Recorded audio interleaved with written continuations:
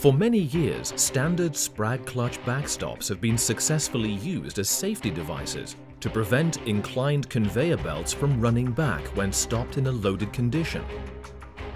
However, when conveyors stall because of an obstruction between the bottom belt and the return end drum,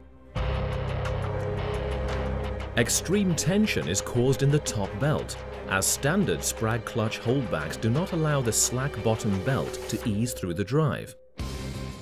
The release of these obstructions has caused fatal accidents.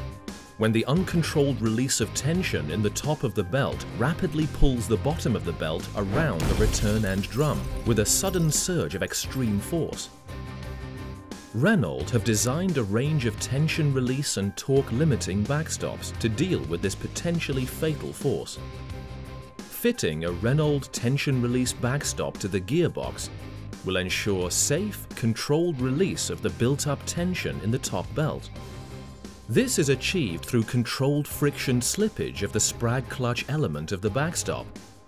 The Renold tension release backstop is a valuable additional safety device designed not only to increase operational safety for your workforce, but also protects expensive plant against costly repairs and production downtime Renold tension release and torque limiting backstops protect material handling conveyors in a wide range of industries around the world.